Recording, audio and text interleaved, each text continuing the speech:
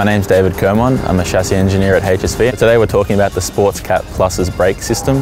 Uh, the brake system comprises of an AP4 piston caliper, which is a forged construction. It is also matched with a slotted rotor and a pad also uh, matched to the system.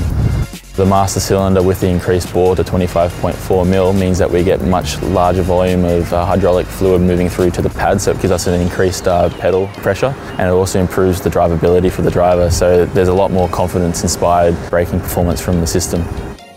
Durability, uh, so that rough track durability goes for approximately three to four months and will encompass basically over 100,000 kilometres worth of, of, testing and that basically allows us to really ensure that the part will last the distance, which is what our customers are going to be doing. They're going to be putting this truck through some pretty hard paces hopefully.